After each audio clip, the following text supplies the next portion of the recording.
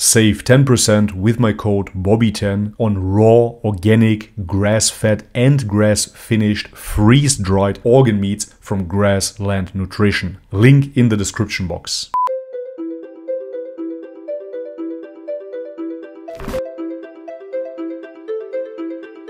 Oh.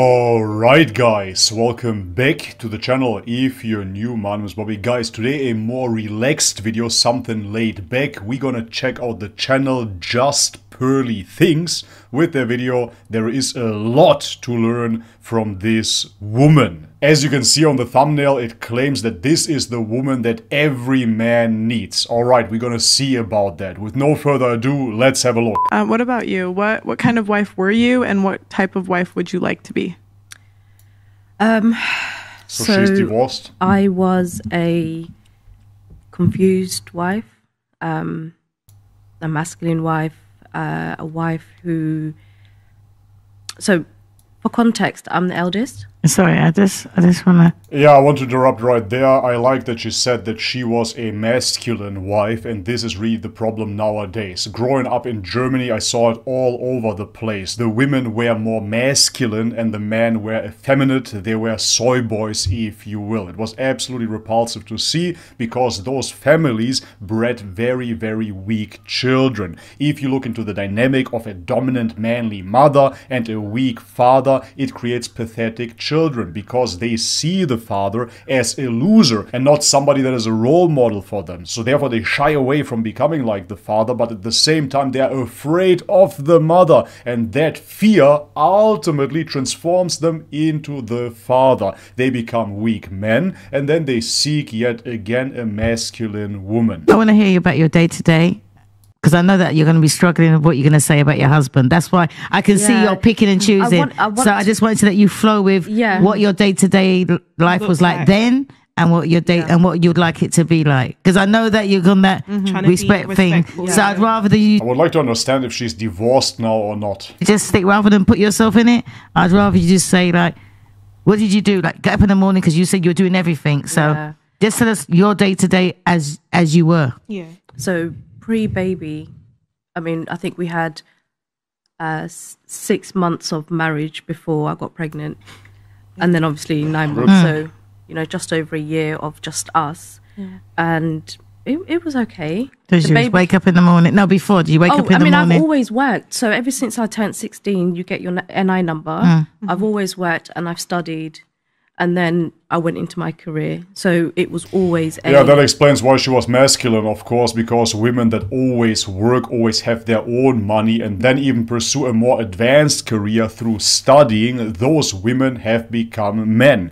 Absolutely. They are not reliant upon a man, therefore, they have no need to be feminine and end up masculine. wake up at 6 a.m., um, work out, um, shower, Even working out. to work, come back, Yeah, you just described the schedule of a man. Wake up, go to the gym, go to work. go to work, come back. And, you know, the usual single life. You put your feet up, you eat, and then do it all again no, I mean, but when you got married before you had the baby, Yeah. what did you do then? Same, because we were working different. Uh, so he was doing shift work. Oh, see, both. Yeah, so he was doing shift work and I was the corporate nine to five. So there's days where I'm going to work in the morning and he's not there, or I'll come home and he's not there. Um, Who was cooking? You was cooking still. Me, yeah. I was cooking. But that's what I mean. You didn't say anything. You just made it sound Yeah. as I got up and I done my stuff and I went to work and I come home. Yeah. And. I was thinking, at what time did you wake up and start cooking for your husband? Because it just sounds like no, you I would just come had home separate from lives. Work. I would come home from work and on the weekends I would meal prep. So, you know, us Somalis, we like to have like our, you know, um, our big lambs and chickens Mm-hmm. and stuff. So I'd cook that on the weekend, freeze it in like little pouches. So I know Monday, Tuesday, Wednesday, Thursday, Friday, Yeah, I this is like what we're that. Mm-hmm. having. Um, and so then all I've got to do is the rice Good. and the pasta or whatever Yeah. it is. Um, The and he would always come home and there's always food. That's really the best way to sleep- go. Genuinely, if you want to meal prep, simply meal prep the proteins, be it the beef, be it the chicken, be it the fish, and then you just have to prepare fresh carbs. It's very, very easy. sleep and he's finished at 11 or whatever, I've got his plate, everything done, put microwave, his cup, drink next to it, everything just set up for him. So when he comes home, he Nice. can just eat, shower, and come to bed. Um, there were days where we would spend time together. So Yeah. we'd end up coming home at the same time, and I, we would both make it our duty to spend time together then, and you know, cook together, sit down and eat. Because you know that we're still in our honeymoon period. You know, we're still getting we're we're happy. Anyway, baby comes.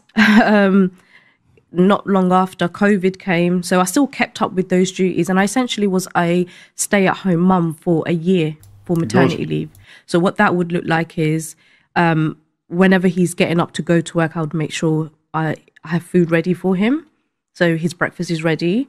Um, at the time, you know, I've got an, a three month old, six month old, however old uh, she was at the time. But I'd always make sure that he left with his stomach full and would come home and his stomach is full. Um, Nice.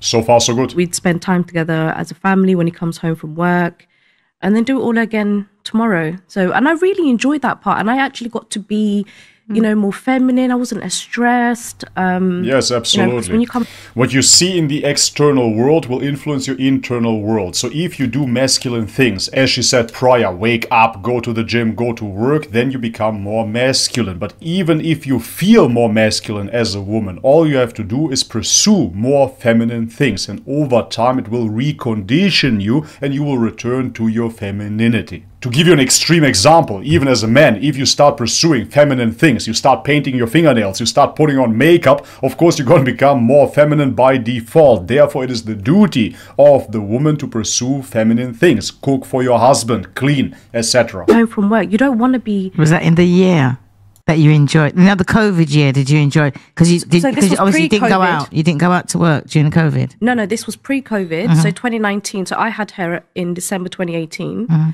So from December 2018 to December 2019, just before COVID Oh, hit, right. I was a stay-at-home mum and I loved it. You know, um, everything was covered.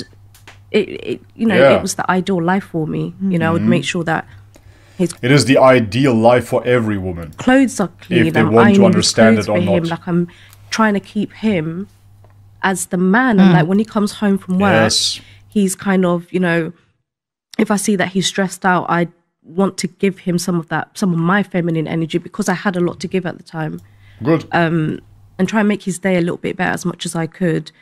Can I ask you how you done that? I'm just asking because sometimes men just want to come home and just be left alone when they're feeling miserable. Well, miserable. that's it. That's it. But women tend to go, try um, and like jump and men him. don't want right. that. So I would gauge that. Like I'd see, like if he wanted cuddles, or you know, I'll be see, I'll see him sitting on the sofa. I'd go and sit on the sofa next to him, and if he wants a cuddle, like he, like that's what, that's what the leading part of the men mm. that we don't really talk about. So he'd come over to me. And lean over to me, and I know that's my cue. You know, I'd I'd go over to him. If he sits still and he doesn't want me to, I know he's had a really bad time at work, and me trying to cuddle up on him and all that. He's just like men are built differently from us. They don't mm. want that.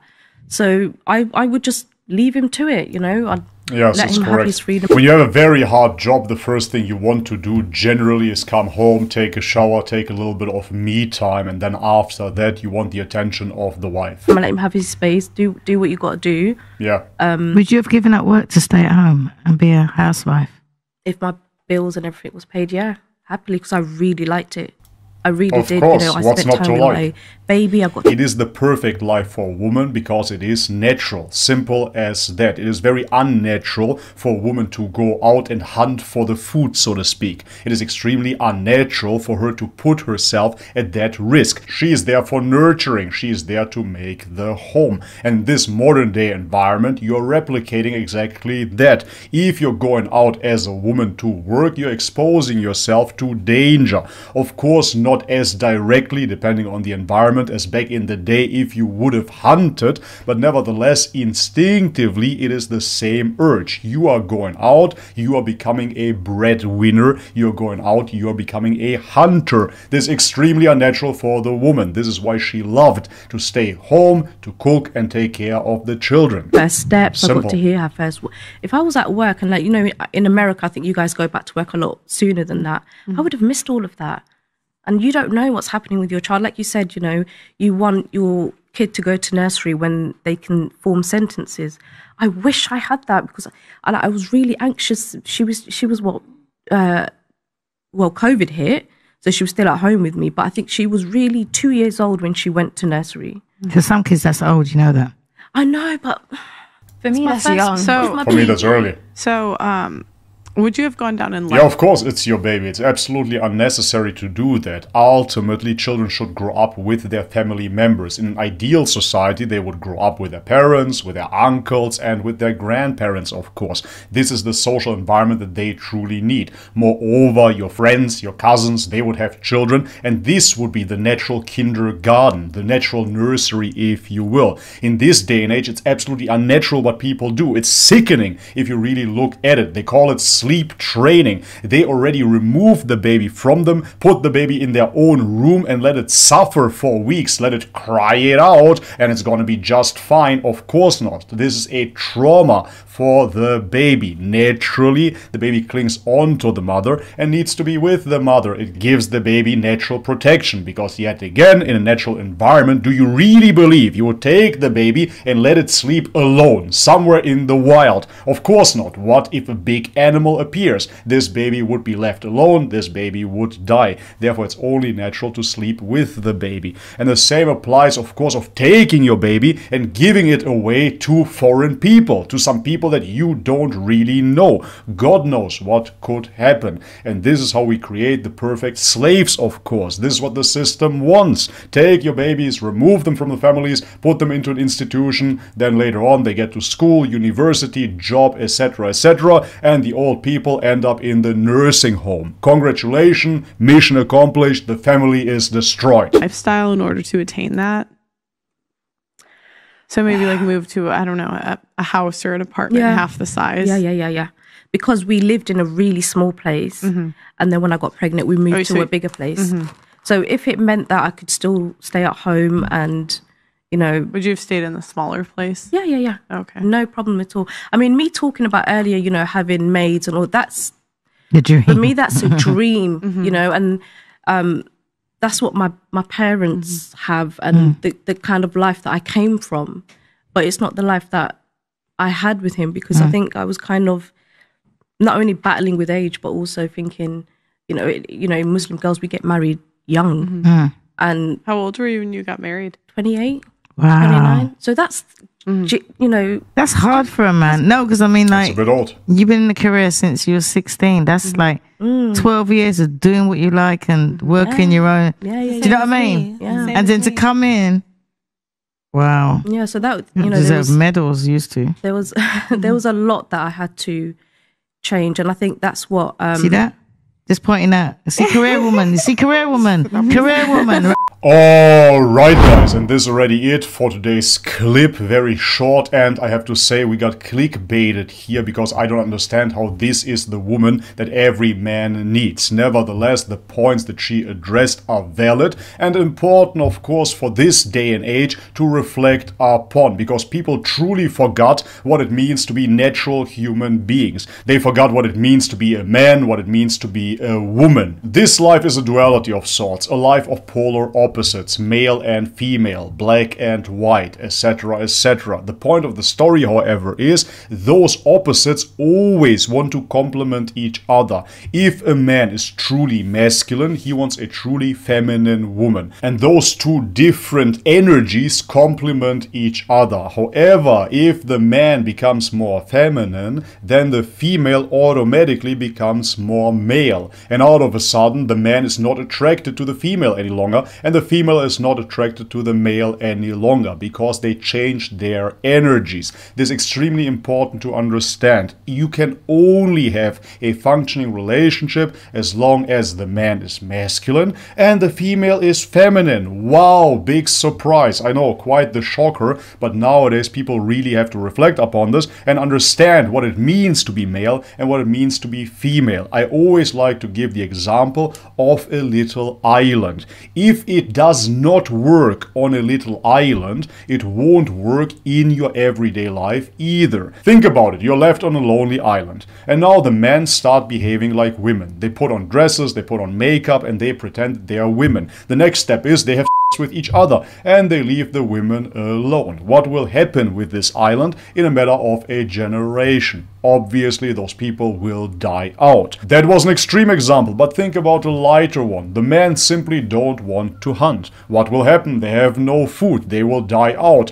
Let's say the women, they muster up their courage and they go hunting. Now you see an energy shift again. The females become more masculine and the males are more feminine. Now the women go out hunting. Maybe they will catch something small. However, in return, now they're not attracted to the males anymore because they understand they don't need them. They don't need them for protection. They don't need them for food. And if they don't need them for protection and for food, they don't need them for sex either because sex naturally is not only for pleasure. If you look into science, you will see that the scientists will tell you, oh, we're the only animal that has sex for pleasure. Yeah, great. We eat for pleasure as well and then we become fat. That is not the purpose of eating. The purpose of eating is to nourish your body. The purpose of sex is to create babies. But the purpose of the woman is to screen the environment and see which man is strong and will give her strong offspring. Yes, that is what it is. So now if the men are not hunting, then the woman won't have babies with them.